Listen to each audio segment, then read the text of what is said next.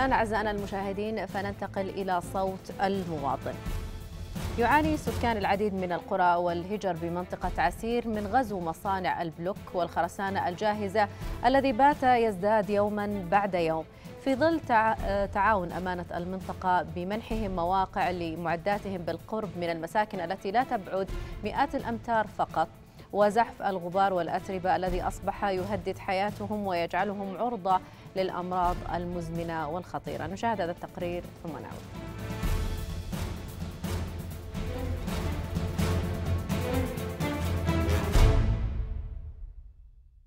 مجمع مصانع البلوك والخرسانة الجاهزة على طريق بني مالك عسير.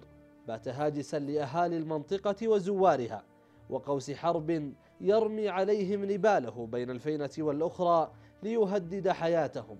ويجعلهم عرضة للأمراض التنفسية والمزمنة الخطيرة في ظل عدم تجاوب لصوت المواطن الذي يصرخ بحرقة أن أنقذونا في الحقيقة أن وضع هذه المصانع في المكان هذا.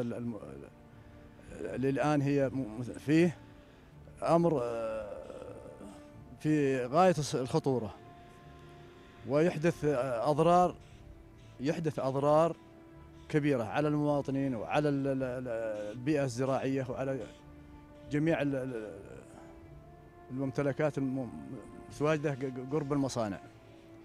هذه الحرب المميتة التي أشعلت فتيلها أمانة منطقة عسير بتمكين هذه المصانع هذا الموقع الذي يتوسط كل هذا التجمع السكاني في تجاوز صريح لمعارضة هيئة الأرصاد وحماية البيئة ونداء المواطن الخائف على صحته وسلامة أطفاله من قرب المصانع الذي بات يزداد يوما بعد يوم. نعم في ضرر علينا كمواطنين سواء قريتنا أو القرى المجاورة سواء عدوان أو العطف أو القرى المجاورة.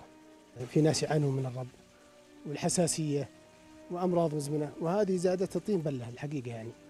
فنناشد المسؤولين أن يزيدون هذا الضرر ولا بيرضون الشيء هذا. وقد طرق أهالي القرى والهجر المجاورة لهذه المصانع. أبواب المسؤول عنها الذي تخلى عن أمانته على حد قولهم وتركهم لقمة سائغة بين أنياب وجشع هذه المصانع التي لا تعترف إلا بالمال صديقا لها والبيئة والإنسان آخر حساباتها. عبد الله العبيد الإخبارية أبها.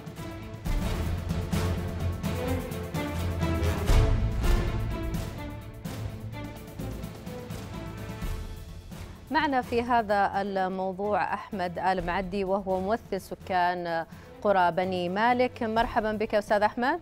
مرحبا مساء الخير يا أختي. مساء النور. أستاذ أحمد إحنا نبغى نبدأ معك يعني ببداية القضية. من أين بدأت؟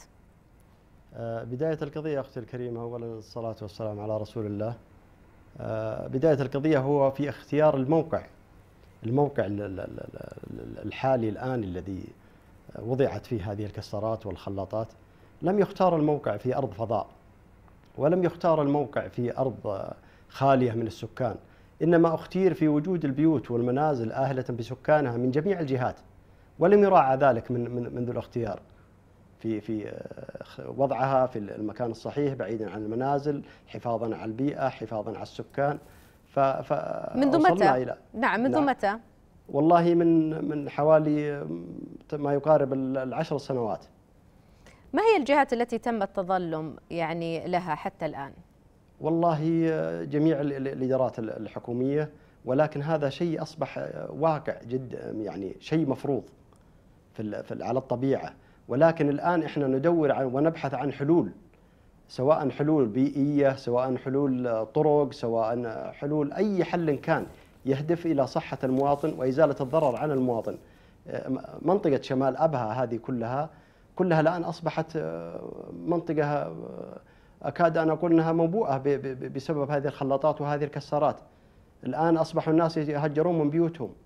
يروحون يسكنون في أبها في الخميس في المناطق المجاورة بحثا عن عن الراحة وعن الهدوء ومعظمهم مصاب بأمراض الربو والأشياء المزمنة بسبب ما ما يحاك لهم من هذه الكسارات نعم لك أستاذ أحمد إذا جينا نتكلم يعني عن دور الجهات لأنها هي التي تملك الحل كيف كان تجاوبها عند عرضكم لقضيتكم؟ يعني والله بالنسبة لأمانة منطقة عسير طرقنا عدة أبواب الإمارة الأمير جزاه الله خير سمو الأمير فيصل بن خالد حفظه الله وجه عدة لجان ووقفت على المواقع ولكن الآن لم تطبق الأشياء التي أقرتها اللجان.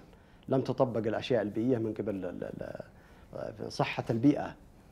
الأصح هناك صحة البيئة أو الأرصاد هي المسؤولة الآن على أساس تنفيذ ما تم عن هذه اللجان أو تركيب فلاتر بعدم الإضرار بالمحيط السكاني. لأنه لا لا يبعد سوى أقل أقرب منزل له لا يبعد سوى 250 متر. نعم لكن وش الحلول اللي خرجوا فيها؟ يعني لم تطبق لم لم تطبق الآن. لم يخ... لم ي... وضعوا حلول تركيب فلاتر آه وأشياء ولم تطبق الآن ولكن ننتظر من الجهات المسؤولة ومن المقام السامي الكريم آه إرسال لجنة تشوف المواقع وتبحث عن موقع بديل. الآن أصحاب الكسرات والخلاطات ليس لهم ذنب. الذنب من وضع الخلاطات والكسرات في هذا المكان. هو ذنبه وهي الأمانة. نعم لكن هل يعني هيئة الأرصاد وحماية البيئة كان لها رأي في هذا الموقع؟ والله أكيد. عند عند الاختيار يعني؟ عند اختيار الموقع مثلا؟ نعم عند اختيار الموقع لا لا لا ما كان لها رأي أبدا. الأمانة هي من وضعتها في هذا المكان وبادرنا في في في في وقتها على أساس إن نقول لهم المكان هذا لا, لا يصلح. لا صحيا ولا بيئيا للمواطنين والقرى المجاورة وضعت بين القرى، القرى محيطة بها من جميع الأربع الجهات. وترتب على ذلك أساسا وضع الكسرات هذه والخلاطات هذه ترتب عليها الطرق. الطرق الآن في في شيء ضغط رهيب. ضغط رهيب عند أوقات الذروة مع المدارس مع الموظفين. يقطن المنطقة المجاورة هذه يزيد عن خمسين ألف نسمة. ناهيك عن الإدارات الحكومية الموجودة في تلك المنطقة. نعم. فأصبح علينا ضرر كبير جدا وهائل. فنطلب من المسؤولين في أمانة منطقة عسير وفي إدارة مرور منطقة عسير وفي إدارة النقل في منطقة عسير بوضع حل جذري لهذا الموضوع لإنهاء المعاناة التي يعانونها شمال مدينة أبها وقرى بني مالك شمال مدينة أبها. نعم. إحنا وصلنا إلى الختام. شكرا جزيلا لك أحمد آل معدي ممثل سكان قرى بني مالك. شكرا جزيلا على وجودك معنا اليوم. شكرا لك.